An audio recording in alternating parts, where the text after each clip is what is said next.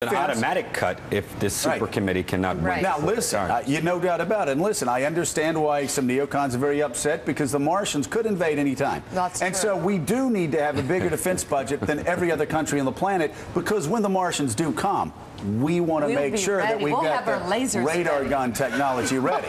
Uh, because, we'll zap them. yeah, Not, not, not just a bigger defense budget, Joe. You need to have a defense budget that's bigger by orders of magnitude. Magnitude, It must be two or three or four times bigger than Okay, anybody so, okay, so